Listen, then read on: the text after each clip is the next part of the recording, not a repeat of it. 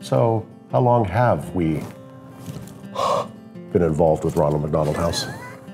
Is that, is that, is that what you want happening? Ronald McDonald House has a special place in my heart. I'd really like to do some volunteer work at this place that I'm so proud of. We want to give back to the community that we serve. Ronald McDonald House Charities is totally funded by operators, the community, donors, families, everyone that have access to the home. It was fun to, to do the, the inaugural Kilts for Kids last year. We had a lot of fun at the shoot. It's kind of a take on the, on the fireman calendar. Send it out to all your friends and you try and raise money.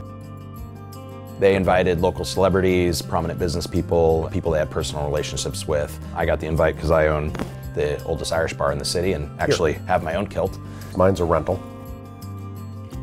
And it was an easy thing to explain. We'd reach out to your friends and you're like, this is for children. It's a pretty easy thing to ask for.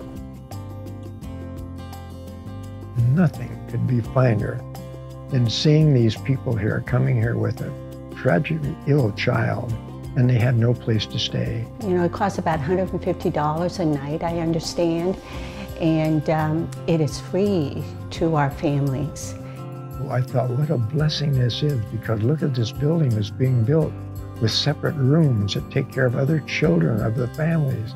Won't cost them one penny. Absolutely most fantastic thing it could be. But as people are coming in to register for their child, we greet them right there. And it's so important as we greet them, and I was taught this, don't show fear because your child has a heart problem or your child cancer or whatever it is. There were times where know, we just didn't know if it was his last breath or not.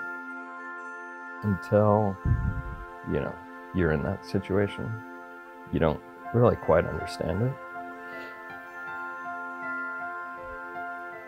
Yeah, I don't know how you, I don't know how you say what it's like to lose your son. It's horrible.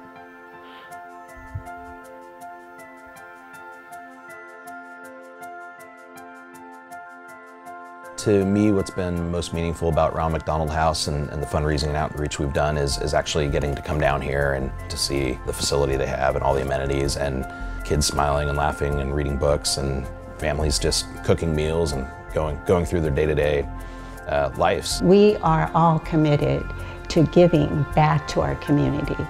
And our number one charity is the Ronald McDonald House.